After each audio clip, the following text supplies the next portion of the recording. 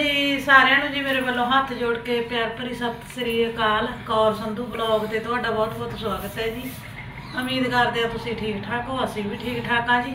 ਲਓ ਜੀ, ਸਵੇਰ ਦਾ ਟਾਈਮ ਹੈ, ਮੈਂ ਲਾ ਰਹੀ ਸੀ ਝਾੜੂ ਪੋਚਾ। ਆਪਣੀਆਂ ਪਹਿਲਾਂ ਮੈਂ ਦੁਕਾਨਾਂ ਦੇ ਵਿੱਚ ਸਿਲਾਈ ਕਰ ਦਿੰਦੀ ਸੀ, ਤੁਸੀਂ ਸਾਰਿਆਂ ਨੇ ਦੇਖਿਆ ਹੀ ਹੈ ਨਾ ਤੇ ਇੱਧਰ ਆਪਣਾ ਸਲੂਨ ਤੇ ਬੁਟੀਕ ਹੈ ਜਿਹੜਾ। ਹੁਣ ਅਸੀਂ ਜਿਹੜਾ ਹੈਗਾ ਸਿਲਾਈ ਸੈਂਟਰ ਖੋਲਣ ਕਰਕੇ ਇਹ ਕਮਰਾ ਖੁੱਲਾ ਸੀਗਾ।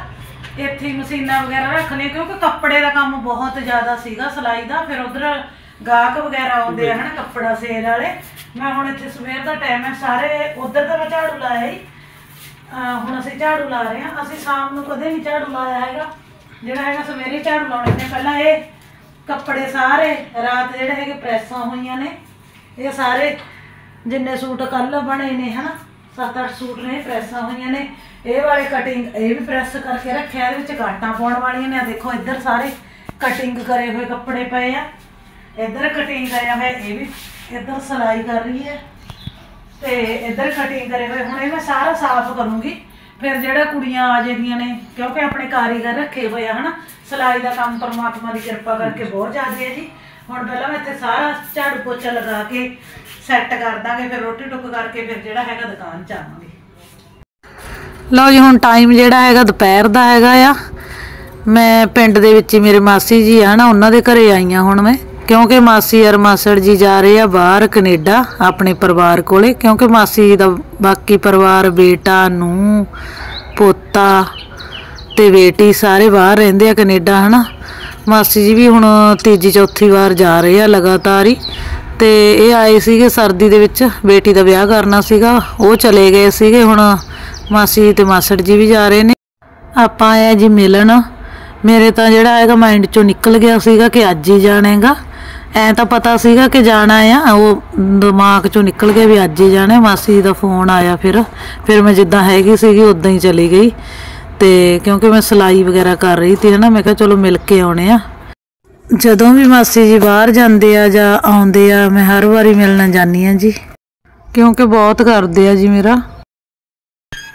ਕੋਈ ਨਾ ਖਿਚਾ ਲਓ ਤੁਸੀਂ ਖਿਚਾਈ ਚੱਲੋ ਮੈਂ ਮਗਰ ਕੋਈ ਜੋ ਬਣਾ ਬਸ ਖਿਚਿਆ ਕੇ ਕਿ ਸਪੀਡ ਭੱਜ ਗਿਆ ਉਹ ਕੈਂਡੀ ਕਿੱਦਾਂ ਵਗ ਗਿਆ ਉਹ ਵਿਚਾਰਾ ਸਾਰੀ ਖੜ ਜਾ।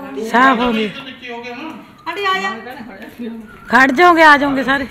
ਮਾਸੜ ਜੀ ਨੂੰ ਖੜਾ ਲਓ ਨਾਲ ਹੀ। ਕੋਈ ਨਾ ਕੋਈ ਨਾ ਭਾਈ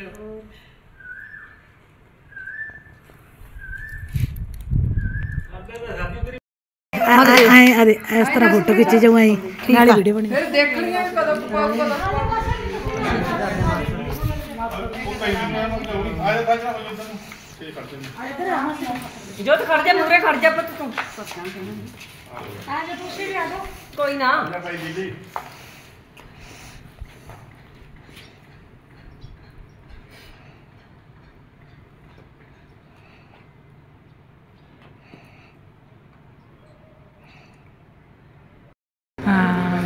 ਸਾਰੇ ਕੈਮਰੇ 'ਚ ਹੀ ਦੇਖਦੇ ਨੇ ਮਗਰ ਦੀ ਹੋ ਗਏ ਇਹ ਫੋਟੋ ਕਹੀ ਜੀ ਹੁੰਦੀ ਆ ਸਾਫ਼ ਹੁੰਦਾ ਕੈਮਰਾ ਸਾਫ਼ ਆ। ਇਹ ਫੋਨਾਂ ਦੀ ਕਲੀਅਰ ਹੁੰਦੀ ਫੋਟੋ ਬਹੁਤ। ਚਲੋ ਚਲੋ ਮਿਲ ਲਓ। ਮਿਲ ਲੱਗੇ ਪੀ ਦੁਬਾਰੇ ਮਿਲੋ। ਇੱਧਰ ਮੂੰਹ ਤਾਂ। ਕਰੇ ਤੈਨੂੰ। ਦੋਨੇ ਆਈ ਫਿਰ ਮੇਰੇ ਮੇਰੇ ਨਹੀਂ ਆਂਦਾ ਚਲੋ ਮਿਲ ਲਓ। ਫੋਟੋ ਕਰਾ ਕੇ ਦੂਜੇ ਲੋਟ ਮਿਲ ਲਿਓ। ਚਲੋ ਮਿਲੀ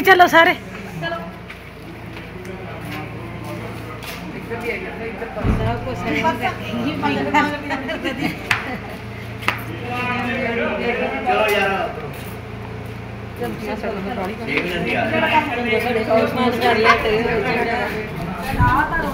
ਲੈ ਬੜੇ ਫੋਨ ਫੜ ਲੈ, ਮੈਂ ਵੀ ਮਿਲਦਾ। ਫੁੱਫੜ ਜੀ, ਤੁਸੀਂ ਕਿੱਧਰ ਤਿਆਰੀ? ਚਾਹ ਪੀ ਲਓ, ਚਾਹ ਤੇ ਬਣ ਗਈ। ਨਹੀਂ ਨਹੀਂ। ਕੋਈ ਨਾ ਕੋਈ ਨਾ 2 ਮਿੰਟ। ਚਾਹ ਤਾਂ ਬਣ ਗਈ। ਇਹ ਚਾਬੀ ਕਰ ਲਓ ਮੋਟਰਸਾਈਕਲ ਦੀ। ਚਾਹ ਤਾਂ ਬਣ ਗਈ ਆ, ਬਸ ਹੋਰ ਪਾ ਪਈਆਂ ਜਾਂ ਚਲੋ ਜਸਵੀਰ ਤਾਂ ਸਾਈਡ ਜੀ ਤੇ ਹੋ ਕੇ ਖੜ ਗਈ। ਹਾਂ ਨਾ ਬਾਬ 40 ਹੋਈ।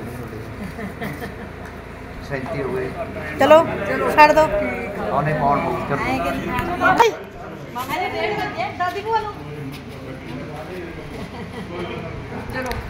ਹੋ ਜਾਓਗੇ ਗੱਡੀ ਲਵੇ।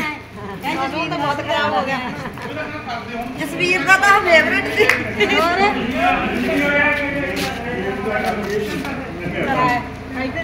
ਇੱਕ ਬੈਗ ਇੱਥੇ ਰੱਖਿਆ ਜੀ ਹਾਂ ਹਾਂ ਲਾ ਕੇ ਕੋਈ ਨਾ ਹੁਣ ਜਿੰਦਾ ਦੀ ਸੋਚ ਜਿੰਦੇ ਵੀ ਕਰੇ ਜਿੰਦੇ ਲੈ ਲੈਣਾ ਕੋਈ ਹਾਂ ਜਿੰਦਾ ਦੀ ਸੋਚ ਹੋਊਗੀ ਚਲੋ ਠੀਕ ਹੈ ਜਾਓ ਚੜੋ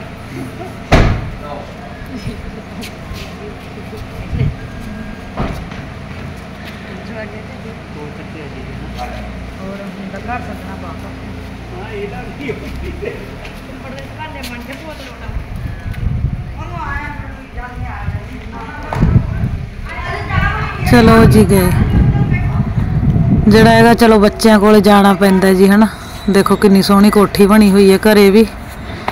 ਪਰ ਫਿਰ ਜਿੱਥੇ ਬੱਚੇ ਰਹਿੰਦੇ ਆ, ਹਨਾ, ਇੱਥੇ ਵੀ ਕੋਈ ਨੌਕਰੀਆਂ ਨਹੀਂ ਮਿਲਦੀਆਂ। ਫਿਰ ਜਿਹੜਾ ਹੈਗਾ ਬੱਚਿਆਂ ਕੋਲੇ ਜਾਣਾ ਹੀ ਪੈਂਦਾ ਪਰਿਵਾਰ ਕੋਲੇ, ਆਪਦੇ ਕੋਲੇ।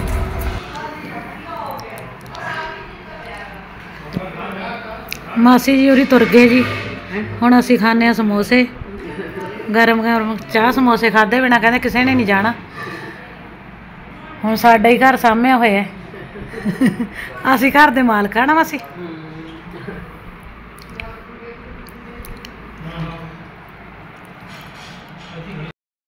ਲਓ ਜੀ, ਆਪਣੀ ਟਰਾਲੀ ਖੜਾਈ ਹੋਈ ਸੀਗੀ ਧੂਰੀ। ਆ ਦੇਖੋ, ਟਰਾਲੀ ਦੇ ਉੱਪਰ ਪੇਂਟ ਕਰਵਾਤਾ। ਕਿਉਂਕਿ ਜਿਹੜਾ ਹੈਗਾ ਕਲਰ ਪਹਿਲਾ ਰੰਗ ਸੀਗਾ, ਟਰਾਲੀ ਦਾ ਲਿਹਾ ਪਿਆ ਸੀਗਾ ਜਾਰ ਲੱਗੀ ਜਾਂਦੀ ਸੀਗੀ।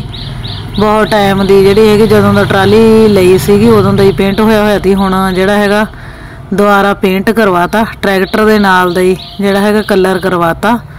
ਤੇ ਇੱਥੇ ਦੇਖੋ ਟਰਾਲੀਆਂ ਵਾਲਿਆਂ ਦੇ ਖੜਾਇਆ ਹੋਇਆ ਤੀ ਜਿਹੜੀ ਬਾਦ ਘਾਟਤੀ ਮਾੜੀ ਮੋਟੀ। ਟੁੱਟ ਭੰਨ ਉਹ ਵੀ ਠੀਕ ਕਰਵਾਤੀ। ਬਹੁਤ ਸੋਹਣੀ ਲੱਗਦੀ ਹੈ ਹੁਣ ਬੈੱਡ ਵਗੈਰਾ ਸਾਰਾ ਕੁਝ ਲਵਾਤਾ। ਤੇ ਅੱਜ ਜਿਹੜਾ ਹੈਗਾ ਇੱਥੋਂ ਟਰਾਲੀ ਲੈਣ ਆਏ ਸੀਗੇ। ਤਿਆਰ ਹੋਈ ਹੋਈ ਆ ਦੇਖੋ ਆਪਣੀ ਪੁਰਾਣੀ ਟਰਾਲੀ ਦੀ। ਆ ਵੀਡੀਓ ਕਲਿੱਪ ਤੀ ਮੇਰੇ ਕੋਲ ਮੈਂ ਵਿੱਚ ਪਾਈ ਹੈਗੀ। ਦੇਖੋ ਕਿੰਨੀ ਜ਼ਿਆਦਾ ਖਰਾਬ ਹੋਈ ਪਈ ਹੈ ਟਰਾਲੀ। ਰੰਗ ਵਗੈਰਾ ਜਿਹੜਾ ਦੇਖੋ, ਜਮੀ ਲੈ ਗਿਆ ਸੀਗਾ, ਫਿੱਟ ਗਈ ਸੀਗੀ। ਕਿਉਂਕਿ ਬਾਹਰ ਕੰਮਾਂ 'ਚ ਕਦੇ ਕਿਤੇ ਖੜਾਤੀ, ਕਦੇ ਕਿਤੇ ਖੜਾਤੀ ਹੈ ਨਾ ਜੀ? ਹੁਣ ਚਲੋ ਸੰਭਾਲ ਕੇ ਰੱਖਾਂਗੇ।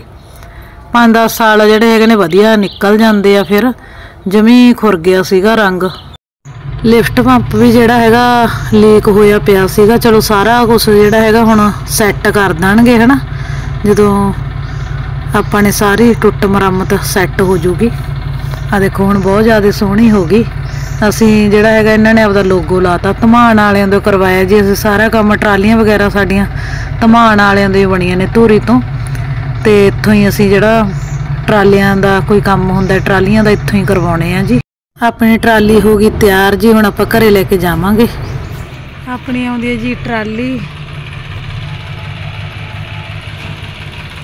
ਦੇਖਦੇ ਆ ਇੱਧਰ ਮੂਰੇ ਇੱਟਾਂ ਲੱਗੀਆਂ ਪਈਆਂ ਨੇ, ਇਹਦੇ ਕਰਕੇ ਥੋੜਾ ਜਿਹਾ। ਲੰਘਣ ਦੀ ਦਿੱਕਤ ਜੀ ਆਉਂਦੀ ਹੈ। ਹਜੇ ਤਾਂ ਅਸੀਂ ਚੱਕ ਕੇ ਉੱਪਰ ਚਿਗਣਤੀ ਆ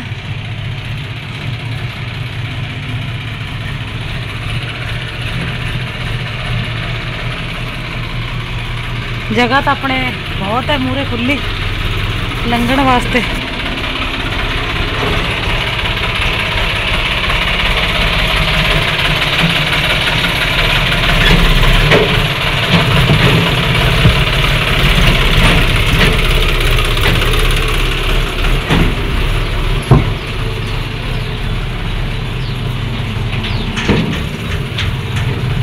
ਲਓ ਜੀ। ਕੁਲਵਿੰਦਰ ਸਿੰਘ ਸੰਧੂ ਸੁਲਤਾਨੀ ਕੇ।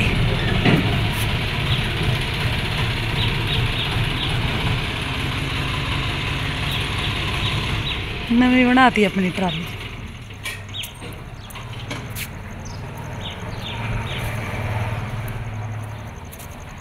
ਰੰਗ ਕਰਾ ਕੇ। ਟਰਾਲੀ ਦਾ ਹੋ ਗਿਆ ਮੇਕਅਪ ਕਿੰਨੇ ਜੋ ਹੋਇਆ ਮੇਕਅਪ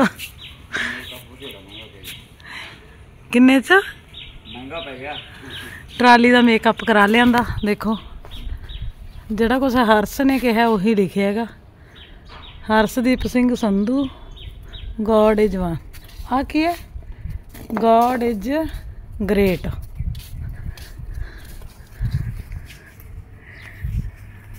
ਇੱਥੇ ਕੁਲਵਿੰਦਰ ਸਿੰਘ ਸੰਧੂ ਸੁਲਤਾਨੀ ਕੇ ਆਪਾਂ ਸੁਲਤਾਨੀ ਕੇ ਵੱਜਦੇ ਹਾਂ ਜੀ ਜਦੋਂ ਵੀ ਕਿਸੇ ਨੇ ਆਉਣਾ ਹੋਵੇ, ਆ ਸਕਦਾ, ਪੁੱਛ ਕੇ, ਹਨਾ?